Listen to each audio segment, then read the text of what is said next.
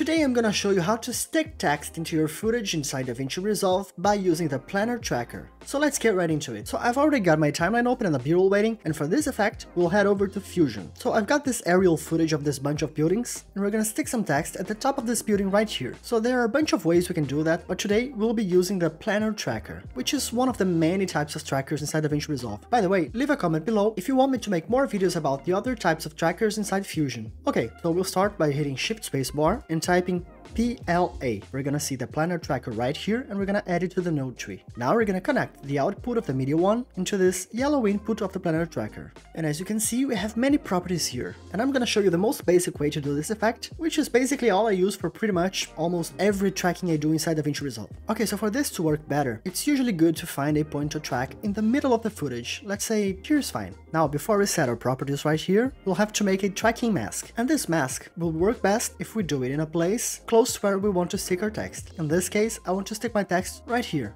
by the top of this building. So let's zoom in our screen and let's make a tracking mask right here.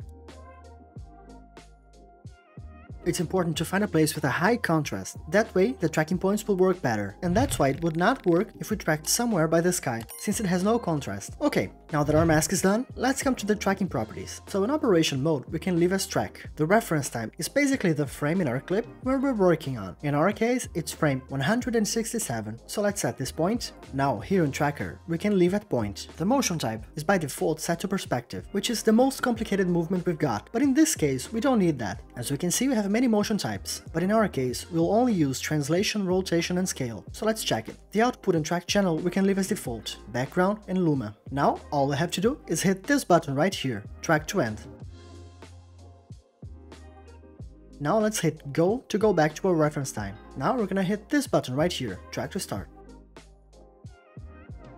Now, as you can see, the whole timeline is full of keyframes. That means our tracking worked properly. So now we have to click on this button right here, Create Planar Transform. And what it does is to create a node, this one right here, that contains all the motion of our footage. Let's leave it aside for a second. Now we're gonna grab a text node. Let's put it right here and merge it with our media one. Now we can actually delete the planar tracker, since we already have the planar transform. Let's write our text now we connect the planar transform between the text and the merge node, and we can do that by dragging it right here, holding shift on the keyboard, and when this arrow gets blue, we can drop it. Let's see if it's connected.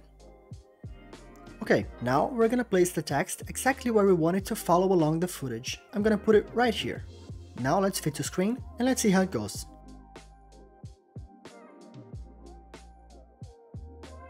And if you liked this video, make sure to subscribe to the channel and click on this video showing on your screen to learn another cool effect inside DaVinci Resolve. See ya!